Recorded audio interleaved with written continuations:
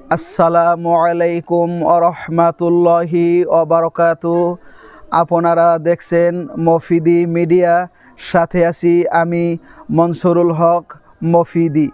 আজ আমরা পবিত্র কোরআনুল কারিমে বর্ণিত একটি খুব মজার, একটি সুন্দর একটি ঘটনা আমরা জানব। এই ঘটনা যেমন মজার, তেমন এই ঘটনার মধ্যে উম্মতের জন্য অনেক শিক্ষণীয় বিষয় রয়েছে। এবং শিক্ষণীয় বিষয় কি রয়েছে, সেটি আমি ঘটনা বয়ান করার পরে আপনাদেরকে সুস্পষ্ট ভাষায় বলে দিব। সেটি হচ্ছে আমরা জানব কোরআনে বর্ণিত ঘটনা, কে বেশি জ্ঞানী? মৌসা আলাইহিসালাতু আসসালাম না খিজির আলাইহিসালাতু ওয়াসালাম এই ঘটনাটি কিন্তু আমার কোনো বানানো কথা নয়। এটি কোরআনুল কারিমের একশো চোদ্দ সুরার ভিতরে একটা সুরা রয়েছে, সুরাতুল কাহাফ। এই সুরাতুল কাহাফের মধ্যে কিন্তু ঘটনাটি রয়েছে। এই ঘটনাটি আপনারা চাইলে দেখতে পারেন। সুরাতুল কাহাফের ষাট নাম্বার আয়াতের থেকে এই ঘটনাটি শুরু হয়েছে। বিরাশি নাম্বার আয়াত পর্যন্ত লম্বা এই ঘটনাটি কিন্তু বর্ণিত রয়েছে। অর্থাৎ টোটাল বাইশটি আয়াতের মধ্যে এই ঘটনাটি সীমাবদ্ধ রয়েছে। অর্থাৎ বাইশটি আয়াতের আয়াত জুড়েই এই ঘটনাটি আল্লাহ পাক রব্বুল আলমিন বর্ণনা করেছেন। তো সেই ঘটনাটি হচ্ছে একবার এক মজলিসের মধ্যে জামানার পয়গাম্বর হজরতে মুসা আলাইহিসালাতাম ভাষণ দিতেছিলেন, বক্তৃতা দিতেছিলেন, বয়ান করতেছিলেন। তখন এক পর্যায়ে এক লোক মুসা আলাইহিসালাতামকে সেই মজলিসে জিজ্ঞাসা করলেন, হে জামানার পয়গাম্বর মুসা এই জামানার মধ্যে সবচাইতে জ্ঞানী লোক কি আপনি না অন্য কেউ? তো মুসা আলহিসাল্লাতাম আসলে তৎকালীন জামানায় সবচাইতে জ্ঞানী লোক ছিলেন। কারণ যে জামানায় যে পয়গাম্বর থাকে, সেই পয়গাম্বরই তৎকালীন জামানার সবচাইতে জ্ঞানী লোক। তো সে বললেন হ্যাঁ আমি এই জামানার মধ্যে সবচাইতে বড় জ্ঞানী লোক। কিন্তু আসলে উনি সবচাইতে বেশি জ্ঞানী লোক ছিলেন, বাট কিন্তু এই কথাটা উনি ওনার নিজের মুখ দিয়ে ওপেন করা, নিজের মুখ দিয়ে বলাটা আল্লাহ পাক রব্বুল আলমিন এই জিনিসটা তেমন পছন্দ করেন নাই। কারণ আল্লাহ পাক রব্বুল আলমিন যেমন নবী রাসুলদেরকে অনেক ভালোবাসেন, অনেক মহব্বত করেন, তাদের থেকে সামান্য একটু ত্রুটি বিচ্ছুতি হইলে, সামান্য একটু এদিক সেদিক হইলে সেটা আল্লাহ পাক রব্বুল আলমিন কখনও কিন্তু বরদাস্ত করেন না। তো মৌসা আলহি সাল্লাতাম এই কথা যখন বললেন, তখন আল্লাহ পাক রব্বুল আলমিনের কাছে এই অ্যান্সারটা, এই উত্তরটা যে আমি সবচেয়ে জ্ঞানী, এই উত্তরটা আল্লাহ পাক রব্বুল আলমিনের কাছে পছন্দ হয় নাই। তো আল্লাহ পাক রব্বুল আলমিন তখন সাথে সাথেই জানাই দিলেন হে পয়গাম্বর মৌসা, তোমার চাইতেও এই জামানায় আমার একজন জ্ঞানী বান্দা রয়েছে। তো এই কথাটি যখন মুসা আলহি সাল্লাতাম শুনছেন, শোনার সাথে সাথেই তার ভিতরে সেই ব্যক্তির সাথে দেখা করার জন্য, সাক্ষাৎ করার জন্য এবং তার সহবতে থাকার জন্য তার কাছ থেকে কিছু শেখার জন্য আগ্রহ জেগে গেছে। এবং সাথে সাথে আল্লাহ পাক রব্বুল আলমিনকে বললেন, আয় আল্লাহ আপনি আমাকে সেই ব্যক্তির ঠিকানা দেন, আমি তার সহপতি থেকে, তার কাছ থেকে আমি কিছু জ্ঞান শিখতে চাই। তো আল্লাহ পাক রব্বুল আলমিন মুসা আলহি সাল্লাতামকে বললেন তুমি একটি মাছ বাজি করে নিয়ে, তুমি একটি মাছ সঙ্গে নিয়ে, তুমি দুই সাগরের মাঝখান দিয়ে চলতে থাকবে যেখানে যে তোমার মাছটি উদাও হয়ে যাবে, তোমার মাছটি তুমি হারিয়ে ফেলবে, তোমার সেখানেই তুমি আমার সেই বান্দার সহবত পাবে, সেই বান্দার সাক্ষাৎ পাবে। তো মুসা আলহি সাল্লাতাম আর তার সাথে সঙ্গী ছিলেন তার এক সাথী খাদেম, ওনার নাম ছিলেন ইউসা ইবনে নুন। তাফসিরের মধ্যে আসছে, ওনার নাম ছিলেন ইউসা ইবনে নুন। এই ইউসা ইবনে নুনকে সাথে নিয়ে মুসা আলহি সাল্লাতাম যখন চলতেছেন, তো এক পর্যায়ে চলতে চলতে মুসা আলহি সাল্লাতাম যে কথাটা বলেছিলেন, ওয়াইদ কলা মুসা আলি ফাতাহু লা আবরাহু হাত্তা আবুলগ মাজমা আল বাহারইনি আও আমদিয়া হকুবা।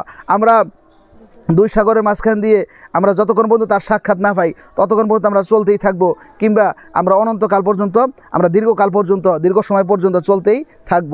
তো তারা যখন এক পর্যায়ে এই দুইটি সাগরের মিলন স্থান, মিলনের স্থল একটি জায়গার মধ্যে তাহারা অবস্থান করেছিলেন। যখন অবস্থান করেছিলেন, তাহারা একটি পাথরের মধ্যে ট্যাগ দিয়ে, হেলান দিয়ে তারা দুইজনেই ঘুমিয়ে পড়েছিলেন। কিন্তু ঘুমিয়ে পড়ার সাথে সাথেই সেই বাজি মাছটি জীবিত হয়ে সেই মাছটি আস্তে আস্তে সমুদ্রের মধ্যে চলে গেছেন। কিন্তু এই ঘটনাটা কিন্তু মোসা আলাহি সাল্লাতামের সাথী ইউসাইবনে নুন কিন্তু দেখেছিলেন। কিন্তু দেখার পরে সে কিন্তু এই ঘটনাটা সেই মোসা আলহি সাল্লাতামকে বলবে, কিন্তু কোরআনের মধ্যে আসছে, আল্লাহ তালা তাকে এই ঘটনাটা বলার থেকে তাকে আল্লাহ তালা কী করেছেন? ভুলিয়ে দিয়েছেন। তাহারা পড়ায় একদিন আবার সামনে এক রাত সফর করার পরে যখন মুসা আলহি সাল্লাতাম বললেন যে তুমি কিছু নাস্তা নিয়ে আসো, আমরা কিন্তু খুব ক্লান্ত হয়ে গেছি, নাস্তা করব।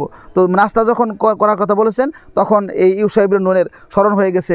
সে বললেন যে, হুজুর, এই মাছটি কিন্তু, হে পয়গাম্বর, মাছটি কিন্তু জীবিত হয়ে সাগরের দিকে চলে গেছে। মুসা আলহি সাল্লাতাম বললেন, আমরা তো সেই জায়গারই অপেক্ষা করতেছি, আমরা তো সেই জায়গায় খুঁজতেছি। তখন ইউসাইব নুন এবং মুসা আলহি সাল্লাতাম তারা দুইজন ব্যাক করে যখন তারা চলে আসছে এমন সময় ওইখানে আইসা আইসা দেখেন যে একটি লোক পুরা শরীর চাদর দ্বারা আবৃত করা, চাদর দ্বারা ঢেকে রাখা। তারা, এই, সেই লোকটি, অর্থাৎ খিজির আলহি সাল্লাতাম সেখানে শুয়ে রয়েছেন মৌসা আলহি সাল্লাতাম আইসা সালাম দিয়ে দিলেন, আসসালামু আলাইকুম রহমাতুল্লাহ। তখন খিজির আলহি সাল্লাতাম বললেন, এই পাহাড়ের পাদদেশে, সমুদ্রের কাছে কে আমাকে সালাম দিলে। তখন মুসা আলহি সাল্লাতাম বললেন, আমি মুসা। খিজির আলহি সাল্লাতাম বললেন, তুমি কি সেই বনি ইসরায়েলের মুসা?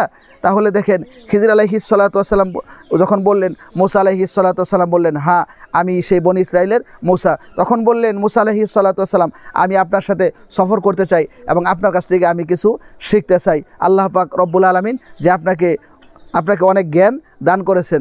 তখন মুসা আলহি সাল্লাতামকে খিজির আলহি সাল্লাতাম বললেন যে, তোমার কাছে যে জ্ঞান রয়েছে, সেই জ্ঞান আমার কাছে নাই। আবার আমার কাছে আল্লাহ তালা যে জ্ঞান দিয়েছে, হয়তো সেই জ্ঞান তোমার কাছে নাই। কিন্তু তুমি তো আমার সাথে চলাটাকে বরদাস্ত করতে পারবে না। আমার সাথে তুমি চলতে পারবে না। আমার সাথে তো আমি যে সমস্ত কার্যকলাপগুলো করব, সেগুলো তুমি বরদাস্ত করতে পারবা না। মোসা আলহি সাল্লাতাম বললেন যে, অবশ্যই আমি সেটাকে ধৈর্য ধারণ করব।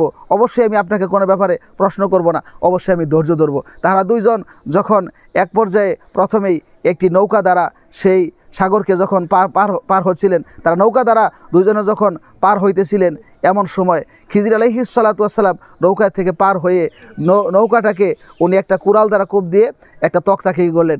ফাটিয়ে দিলেন। মুসা আলহি সাল্লাতাম বললেন, এই লোকটা আমাকে আমাদেরকে টাকা ছাড়াই পার করল। কারণ এই লোকটা খিজির আলাই নৌকার যিনি মাঝি ছিলেন, উনি খিজির আলাহি সাল্লাতামকে চিনেছিলেন এবং তিনি টাকা নিতে রাজি হয় নাই। মুসা আলাহি সাল্লাতাম বললেন যে, উনি টাকা ছাড়া আমাদেরকে পার করল। আর আপনি বিনিময়ে তার এই নৌকাটাকে ফাটিয়ে দিলেন এটি আবার কেমন কথা? এটা কি করলেন? কারণ খিজির আলাহি সাল্লাতাম বললেন, আমি তো আগেই বলেছি যে তুমি আমাকে কোনো ব্যাপার প্রশ্ন করতে পারবে না, আর আমার সাথে তুমি ধৈর্য ধারণ করতে পারবে না। তখন মুসা আলহি সাল্লাতাম বললেন কলা ইন্না কালাং তাস্তা তুই মাইয়া সবর। হ্যাঁ আমি সামনে কি করব? আপনার কথার উপর আমি ধৈর্য ধারণ করব। আপনাকে আমি কোনো ব্যাপারেই প্রশ্ন করব না। তো দ্বিতীয় নাম্বারে তারা যখন আরও সামনে যখন যখন চলতেছিল, তখন তারা দেখলেন যে কিছু বালক এক জায়গার মধ্যে, একটি মাঠের মধ্যে খেলা করতেছেন। খিজির আলহি সাল্লাতাম সেখান থেকে একটি বালককে মাথার মধ্যে আঘাত করে মেরে ফেললেন। মুসা আলহি সাল্লাতাম বললেন, এই বালকটি খেলা করতেছে, সে তাকে আপনি কেন এইভাবে হত্যা করলেন? খিজির আলহি সাল্লাতাম বললেন, আমি তাকেই বলেছি, আমার কাজকর্মগুলা তুমি বরদাস্ত করতে পারবে না, তুমি সহ্য করতে পারবে না। তখন মুসা আলহি সাল্লাতাম আবার বললেন কলা ইন্না কালাং তাস্তা তুইয়া মাইয়া সবর। অবশ্যই আল্লাহ চাহে তো আমি ধৈর্য ধারণ করব, আর কোনো ব্যাপারে আপনাকে আমি প্রশ্ন করব না। তো তৃতীয় নম্বরে যখন তারা একটা গ্রামের উপর দিয়ে যখন অতিক্রম করতেছিলেন, তাহারা ক্ষুধার্ত ছিলেন টায়ার্ড ছিলেন। কিছু লোকের কাছে তারা খাবার চাইলো, কিন্তু ওই গ্রামবাসী তাদেরকে খানা দিতে অস্বীকার করল। কিন্তু তারা যখন পথ অতিক্রম করতেছিলেন, একটি পুরাতন বিল্ডিং পুরাতন একটি ঘর এরকমভাবে বাঁকা হয়ে গিয়েছিল। খিজির আলহি সাল্লাতাম সেটিকে নিজেই সোজা করে দিলেন। মুসা আলহি সাল্লাতাম বললেন যে, আমরা তাদের কাছে খাবার চাইলাম, তারা খাবার দিতে অস্বীকার করল, আর আপনি সেই এই ঘরকে সোজা করে দিলেন, এটি আবার কেমন কথা? তখন খিজির আলহি সাল্লাতাম বললেন, এখনই আপনার আর আমার পৃথক হওয়ার সময় এই পর্যন্তই আমাদের সফর। কিন্তু এই তিনটি কাজ আমি কী জন্য করেছি সেটি আপনি শোনেন। সেই সেই তিনটি কাজ, এটি কিন্তু একটি মজার ঘটনা, আপনারা ধৈর্য ধরে শুনতে থাকেন। তো তিনটি কাজ কী জন্য করেছেন? খিজির আলহি সাল্লাতাম বলেন প্রথম, আমি যে কাজটা করেছি, নৌকা দিয়ে পার হয়ে নৌকার মাঝির এই নৌকাটাকে ফাটিয়ে দিয়েছি, তক্তা একটি ফাড়িয়ে দিয়েছি। এর কারণ হচ্ছে তাদের পিছনে পিছনেই একটি জালেম বাদশাহ আসতেছে। আর সেই জালেম বাদশাহ সেই নৌকাগুলোকে ছিনিয়ে নিয়ে যাবে। সেই ছিনিয়ে নিয়ে যাওয়ার কি আছে? ভয় আছে। কিন্তু কোনো নৌকা যদি ত্রুটিযুক্ত থাকে, তাহলে সেই নৌকা সে নেয় না। এই জন্য তার নৌকাটাকে আমি একটু ত্রুটিযুক্ত করে দিলাম। অবশ্যই এই নৌকা সেই জালেম বাদশাহ নেবে না। এর দ্বারা সে ইনকাম করে হালাল পথে তার বিবি, বাচ্চা, সন্তানদেরকে নিয়ে খাইতে পারবে। এই জন্য আমি তক্তারা ফাটিয়ে দিয়েছি। তাহলে দেখেন, অবশ্যই কিন্তু কাজটা ভালো করেছে। দ্বিতীয় নাম্বারে সে বলল, ওই যে বালককে আমি হত্যা করেছি তার কারণ হচ্ছে এই বালকের মা বাবা হচ্ছে অনেক ভালো, অনেক ধার্মিক। কিন্তু আল্লাহ পাক রব্বুল আলমিনের কুদরতের দ্বারা আমাকে জানিয়ে দেওয়া হয়েছে, এই সন্তানটা খুব খারাপ হবে। এই সন্তানের দ্বারা মা বাবার কী হবে? অনেক বদনাম হবে। তাই সেই সন্তানটাকে হত্যা করে ফেলা হয়েছে। আল্লাহ তালা পরবর্তীতে তাদেরকে আর চাইতে ভালো সন্তান দান করবেন। তিন নম্বর হচ্ছে যে বিল্ডিংটাকে আমি সোজা করে দিয়েছি, সেই বিল্ডিংটা ছিল একজন, দুইজন এতিম বাচ্চার, অর্থাৎ তাদের বাবা মা কেউ নেই। কিন্তু তাদের বাবা মা তাদের জন্য কিছু গুপ্ত দন রেখে গিয়েছেন। এই জন্য আল্লাহ পাক রব্বুল আলমিনের হুকুমে আমি সেটা কি করে দিয়েছি? সোজা করে দিয়েছি। আল্লাহ পাক চাচ্ছেন তারা দুইজন আস্তে আস্তে বড় হইতে থাক এবং বড় হওয়ার পরে তাদের সেই গুপ্ত দনগুলা তারা সেই গড় থেকে যাতে উদ্ধার করতে পারে। তো এখন এই ঘটনা থেকে আমাদের শিক্ষণীয় বিষয় হলো, সেটি হচ্ছে আপনি আর আমি যতই জ্ঞানী থাকি, কিন্তু নিজে নিজেকে বড় মনে করা, নিজে নিজেকে বড় মনে করা, এটি হচ্ছে তাকাব্বরি, এটি হচ্ছে শয়তানের কাজ। সুতরাং নিজে নিজেকে কখনোই বড় মনে করা যাবে না। নিজেকে নিজে সবসময় ছোট মনে করতে হবে। আরেক, একটা বিষয় হচ্ছে, হয়তো আমি যত জ্ঞানী থাকি, আমার কাছে যেই জ্ঞানটা আছে, আপনার কাছে নাই। আবার আপনি একজন সামান্য লোক হইলেও আপনার কাছে যেই জ্ঞানটা আছে, আমি মনসুরুল হক মফিদের কাছে, সেই জ্ঞান হয়তো নাই। এবং কোরআনুল কারিমে এই ঘটনা বর্ণিত যে বিষয় আমরা জানলাম, সেটি হচ্ছে আমরা কিন্তু মুসা আলহি সাল্লাতাম এবং খিজির আলহি সাল্লাতাম কাউকে কিন্তু এখানে ছোট করার মতো কিনে কোনো সুযোগ নাই। বরংস মুসা আলহি সাল্লাতাম একজন নবী ছিলেন, উনি একজন পয়গাম্বর ছিলেন, উনি একজন রাসুল ছিলেন। এই কথার কিন্তু কি রয়েছে? প্রমাণ রয়েছে। কিন্তু খিজির আলহি সাল্লাতাম নবী হওয়ার মধ্যে কি রয়েছে? একতলাফ রয়েছে। তো দুইজনেই আল্লাহ পাক রব্বুল আলমিনের খুব মাহবুব বান্দা। খিজির আলহি সাল্লাতাম এবং মুসা আলহি সাল্লাতাম দুইজনেই আল্লাহ পাক রব্বুল আলমিনের খুব প্রিয় বান্দা।